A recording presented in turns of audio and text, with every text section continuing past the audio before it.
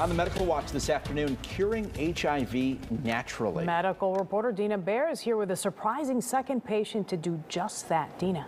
Lourdes and Ben, she was diagnosed with the virus that causes AIDS. She did not get the standard treatment, and yet years later, the virus is gone.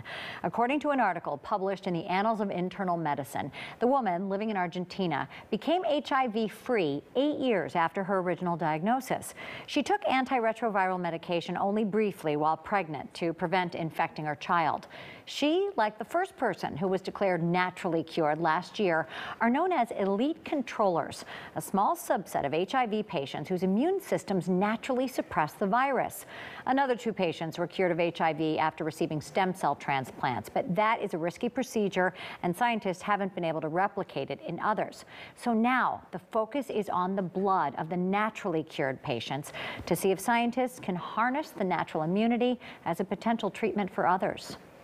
COVID vaccine immunity lasts longer than previously thought. A new analysis by Johns Hopkins University researchers finds robust immune cells present six months after patients receive their COVID-19 shot. And those vaccine-elicited virus fighters do work against the Delta variant, which of course is currently causing more infections and spreading faster than earlier forms of the virus. Previous studies found virus-fighting antibodies wane after six months. But in those who received the mRNA vaccines, T cells continue continue to provide strong immunity six months after the second injection. Coffee and tea offer protection from certain brain ailments. Drinking four to six cups daily is associated with a reduced risk for stroke and dementia. Reporting in PLOS One, researchers studied nearly 400,000 people between 2006 and 2020. People who consumed coffee and tea had the lowest incidence of stroke compared to those who drank neither coffee nor tea.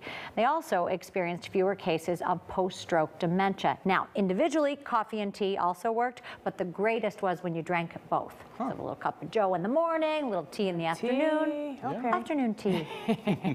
that sounds so good. Lovely. Thank you, Thank Dina. you, Dina.